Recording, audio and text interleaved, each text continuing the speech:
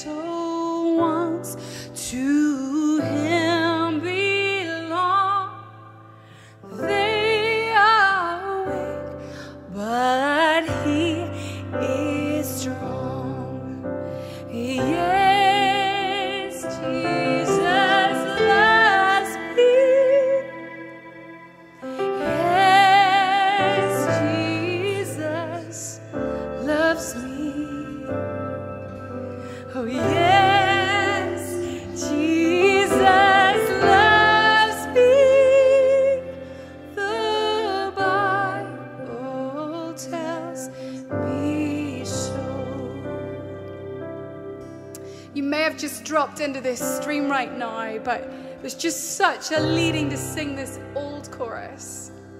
It's old, but it's new. So it's maybe the first time you've sang it, or maybe the hundredth time that you've sang it. But right now, where you are, would you know the presence of God, the love of God just rushing towards you afresh right now? Let's sing it out. All the kids, all the youth, elders amongst us, you sing it out.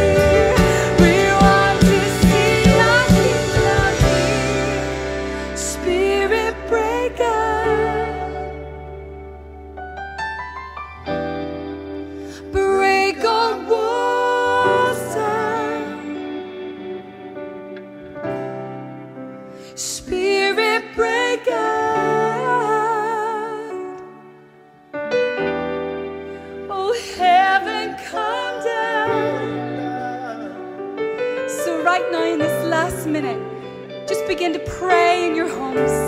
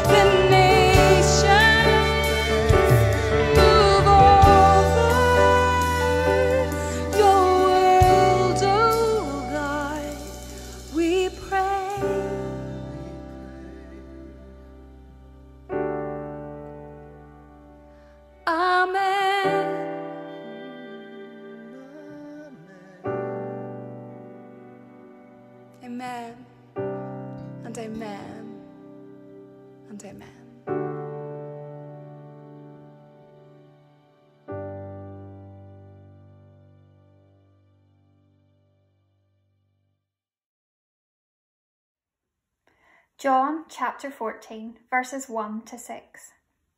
Do not let your hearts be troubled. You believe in God, believe also in me. My Father's house has many rooms. If that were not so, would I have told you that I am going there to prepare a place for you? And if I go and prepare a place for you, I will come back and take you to be with me, that you may also be where I am. You know the way to the place where I am going.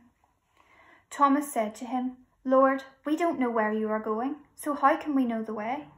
Jesus answered, I am the way, the truth, and the life. No one comes to the Father except through me.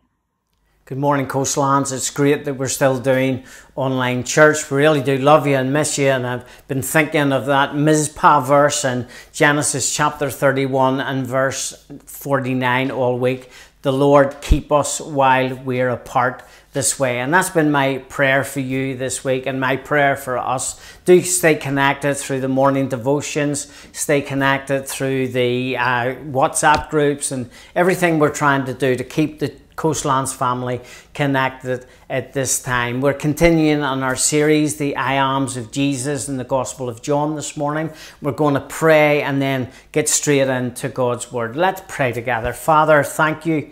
Thank you that you're interested in each of us, and thank you that you do keep us while we're apart from one another. So, Father, I do pray your blessing upon us as church this morning, your blessing upon your people day by day. Father, that you would watch over us and that you would keep us while we're apart this way. In Jesus' name, amen. In the passage that Amy read for us uh, just a little earlier, we had the question of Thomas to Jesus. It was almost an interruption to Jesus. Thomas said, Lord, we don't know where you're going. How can we know the way? And I suppose that highlights that, that, that humanness of us, that desire, that need to always know where we're going, to always not only know where we're going, but to know the way that we're going to get there.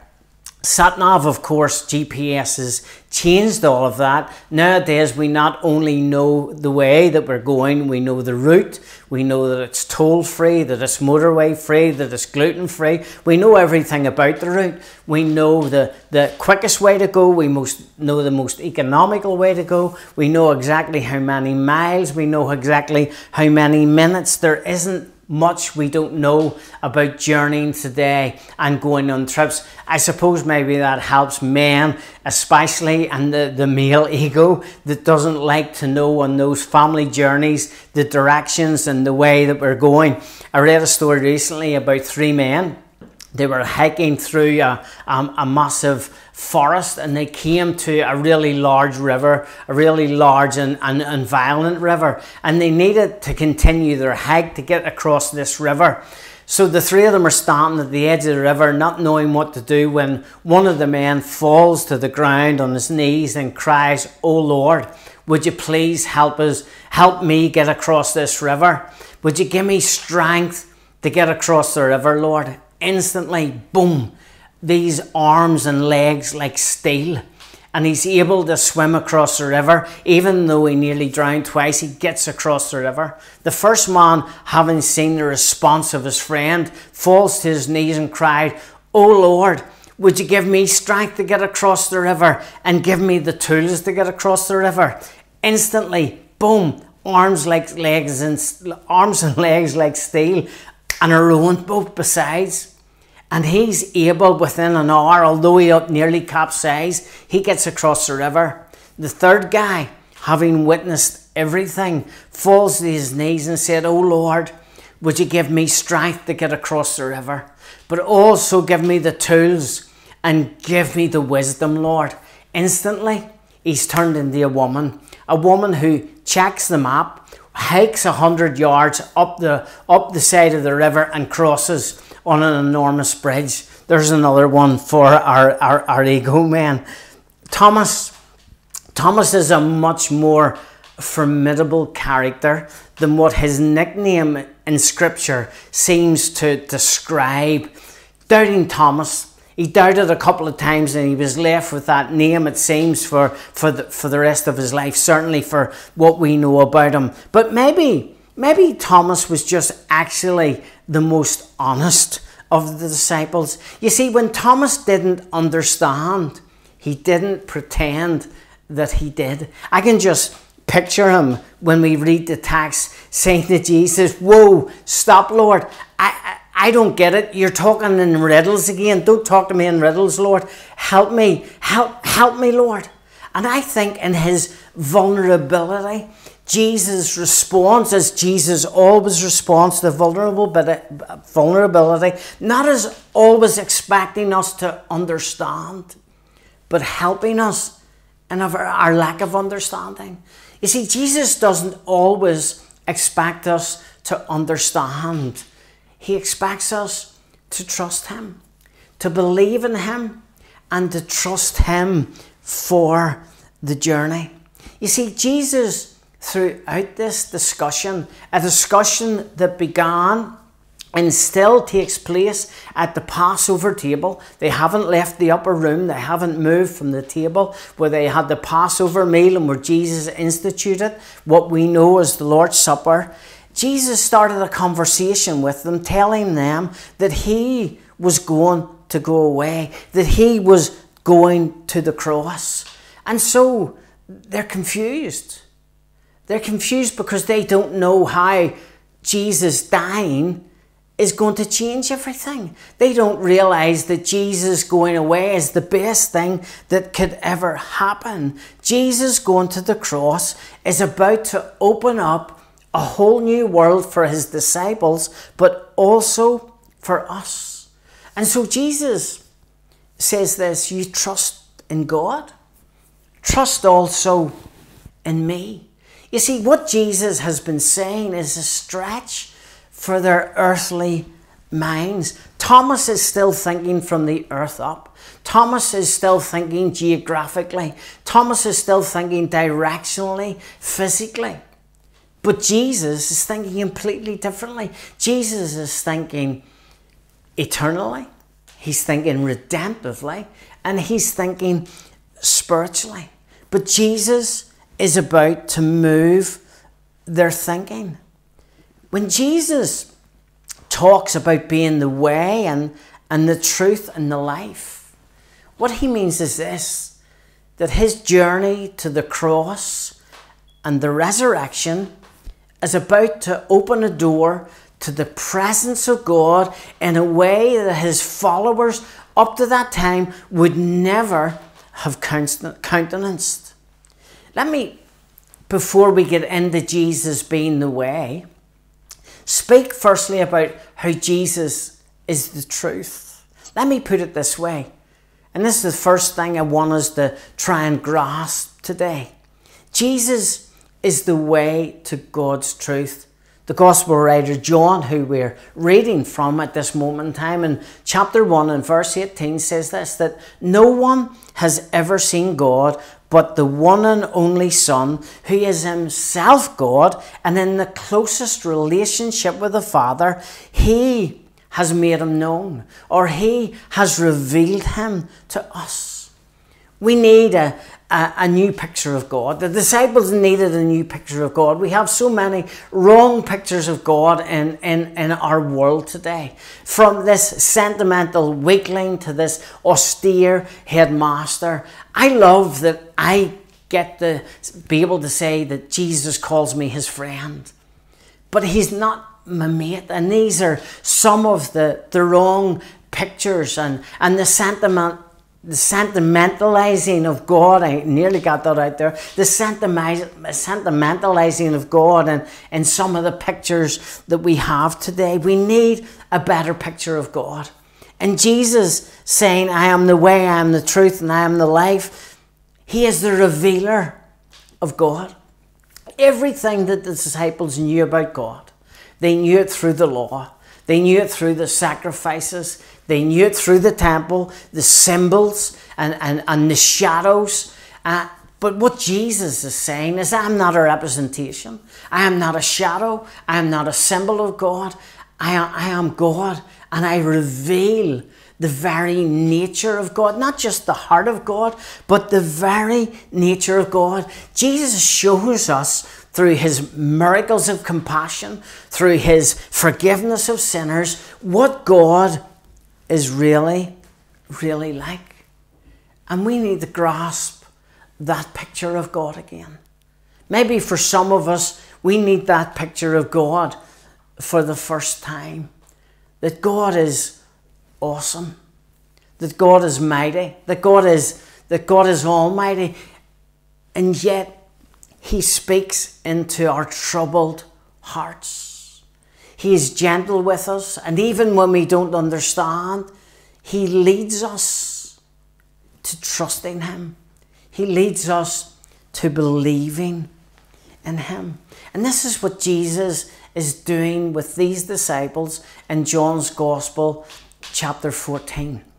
Jesus begins to speak of the Father's house. And let me put it this way. Second thing I want to say today is Jesus is the way to God's house. He begins to put hope in the hearts of his troubled disciples. In their world, the earthly house of God was the temple, and they never got to go into all of the rooms in the temple. Many of the rooms, only, only the priests got to go into some rooms. And in the, the most holy room, the, the best room in, in the whole of the temple, only the high priest and only, only once a year on a certain day could anyone enter into that room. I remember growing up and my, my mum's mum, my gran, had a good room. Um, she had a parlour house and, and, and children, we were never, as children, we were never seemed it seemed ever allowed into that good room. The good room was seemed to be being kept for, for adults. It didn't give me uh, it didn't give me anything that I didn't like my granny for or anything. It was just one of those things. Children weren't allowed in, in, in, in the good room. All God's children are allowed in his best room.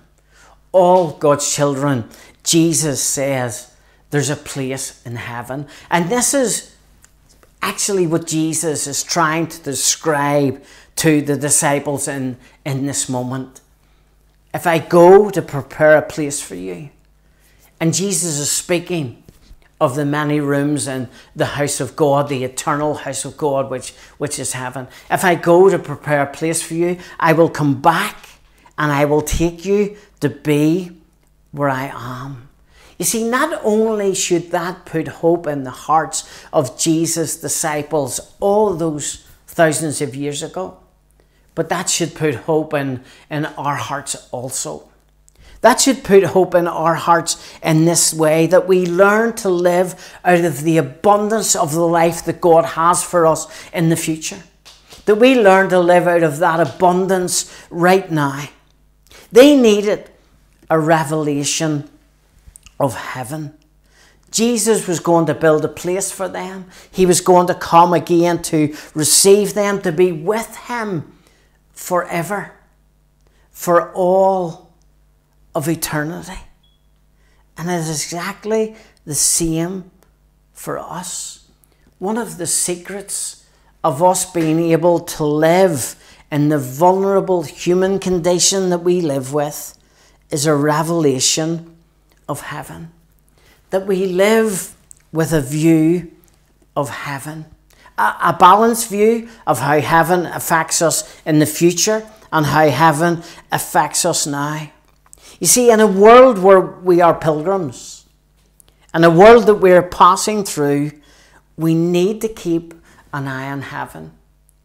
We need to keep an eye on the return of Jesus as well, because that is hope for our hearts and whatever circumstances we find ourselves in. We need to think eternally again.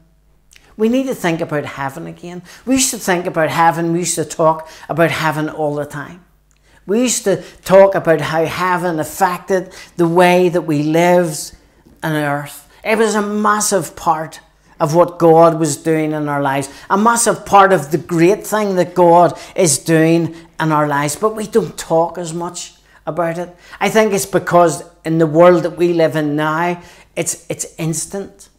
Unless everything satisfies or gratifies us instantly, we don't seem to have the same interest in it. But maybe especially us, church, we need to think eternally again.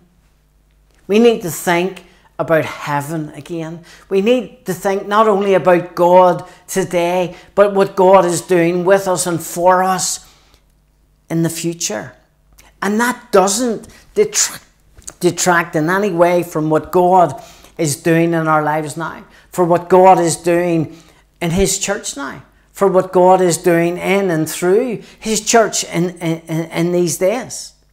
Because Jesus is the way and the truth and the life. We've seen how Jesus is the way to God's truth. We've seen how Jesus is the way to God's house. But Jesus is also the way to life with God now. Jesus is the way to God's life now. I, I, I love this quote from the great Baptist preacher Charles Spurgeon. He says this that little faith will take your soul to heaven.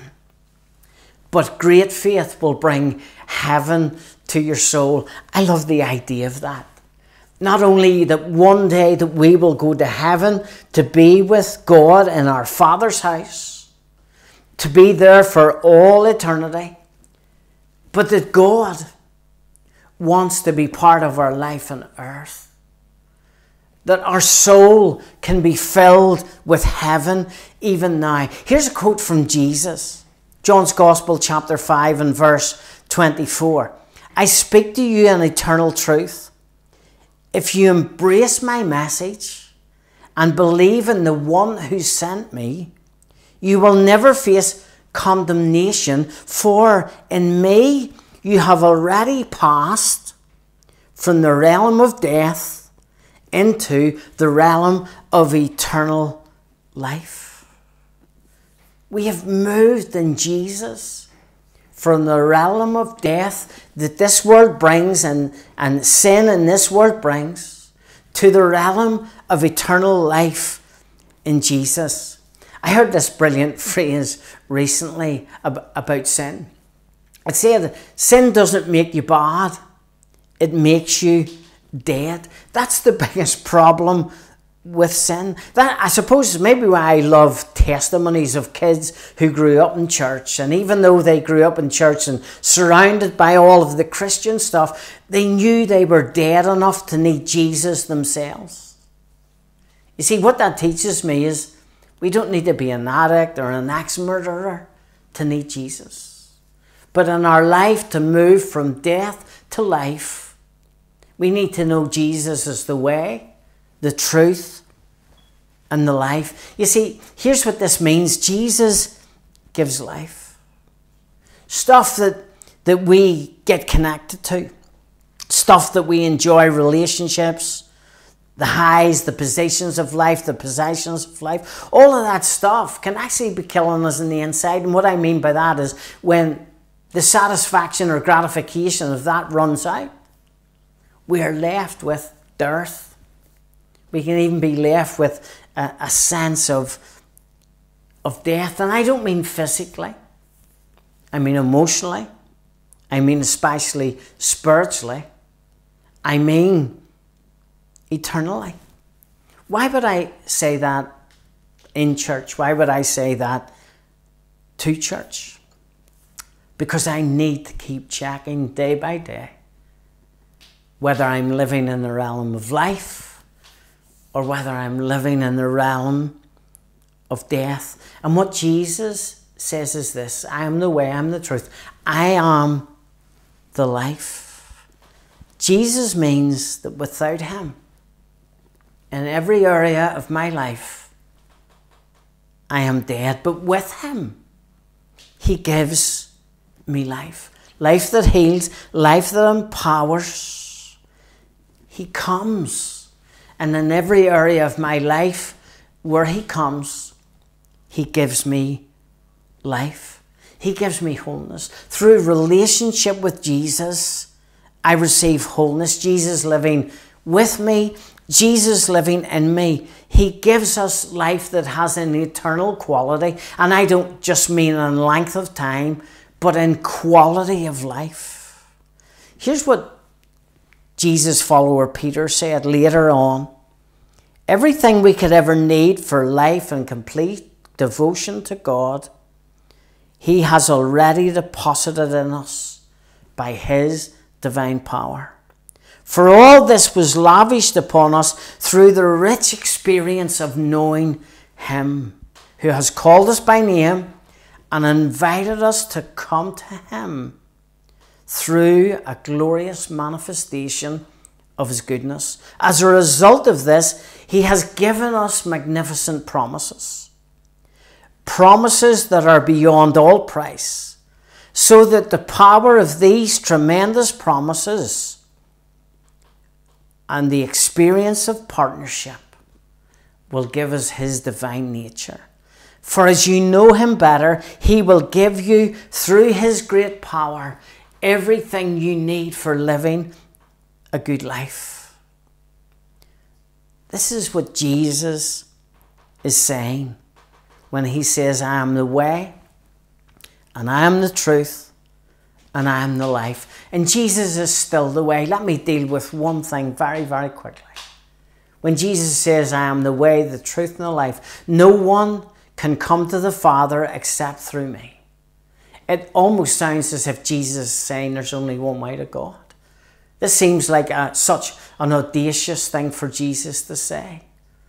But but if we consider the phrase in, in the original Greek language, and we actually consider the phrase in the context of the passage we're reading and the wider context of Scripture, here's actually what we learn that Jesus is saying that He is absolutely the only way to God. One way, God said, to get to heaven, and Jesus is the only way. And Jesus is still the way. You see, what Jesus is saying in this, I'm going to open up the way to God's dwelling place. Jesus dying and raising from the dead on behalf of sinful, broken humanity is preparing a place for us in heaven. But here's what else Jesus is doing Jesus is repairing this unity between heaven and earth. Jesus is our trailblazer. There's an amazing little portion of scripture in Hebrews chapter 6 and verse 20 that says, This hope we have is an anchor for the soul that cannot slip and that cannot break down under whatever pressure it bears is a safe and steadfast hope that enters within the heavenly temple in which the very presence of God dwells, where Jesus has entered in advance as a forerunner for us. Forerunner. The Greek word there is, is, is prodromos. If you've ever been on a cruise or been on a big ship or you've ever been up the Belfast Channel, if you've ever been somewhere where shipping has little boats that are called pilots and they come out and they help the larger vessels come up safely through a channel which may have such a narrow way for big ships like Belfast Harbour to get up. And those little boats are, are, are, are prodromos. That's exactly what Jesus did for us. He went ahead of us as our pilot. He makes sure the way is safe all the way to God. A derivation of that word is prodromoi. And I'm sure you've seen battle scenes where the lancers first off into the battle and they clear the way for the rest of the troops to come safely into the battle. That's what Jesus does for us. Jesus has gone ahead to clear the way to heaven, to clear the way to God, to reunite heaven with earth through his living within us, through us trusting him and receiving him. Jesus is the way to God's house. Jesus reveals the truth about God. And Jesus connects us to the life of God. Let's pray. Father, help us today. Help us to connect to the, the life of heaven. Help us to connect to the life of heaven through Jesus. Thank you that you sent Jesus, your Son. But thank you, Jesus, that you died and you rose again. And that you went to make a way for us in heaven. Father, help us to live Help us to learn through the abundance of what you've done for us that we get one day to go to heaven. Father, help us to live in view of that every day of our lives. But Father, thank you. Thank you that heaven also comes into our souls through Jesus, who is the life of God. So, Father, help us day by day to move from the realm of death to the realm of life through Jesus, your Son. Father, that we every day would say that Jesus is the I am. He's the way to God. He is the truth of God. He is the life of God. And that we would receive that into ourselves day by day. Help us to trust Him. Help us to believe in Him. And help us to worship Him. Let's worship God together right now. You are the way, the truth, and the life.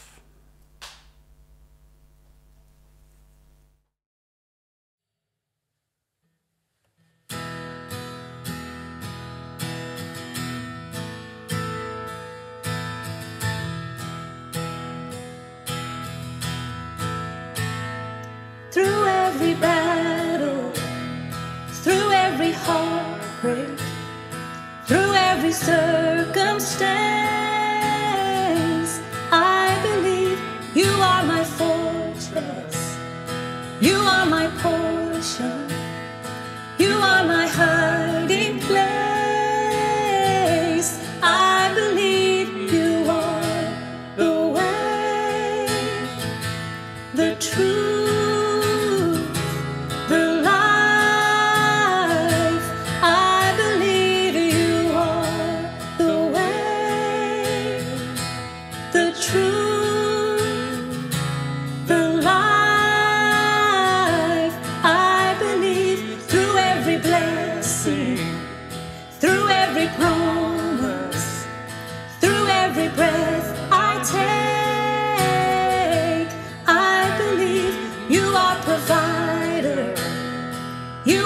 protector, you are the one I love.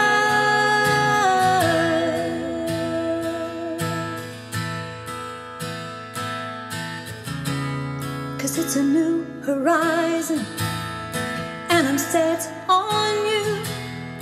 And you meet me here today mercies that I knew. All my fears and doubts, they can all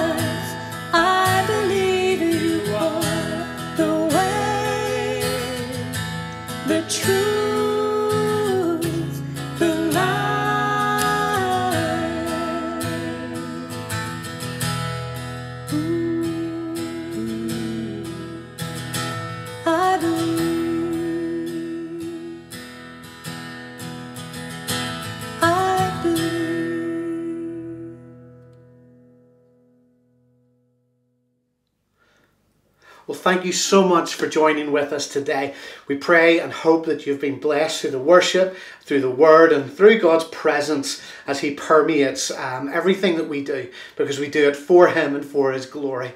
Um, our prayer is for you, our Coastlands family, that you would continue to know God's protection, His help, and His His His presence from day to day. And our prayer as well is for those of you who aren't part of the Coastlands family. Maybe you're not even um, going to church or part of a church, uh, or maybe you've never even given your life to Jesus. And our prayer is that you would get connected that you would get connected to Jesus and that you would get connected to his church and that you would find the life that Pastor Hugh has been talking about.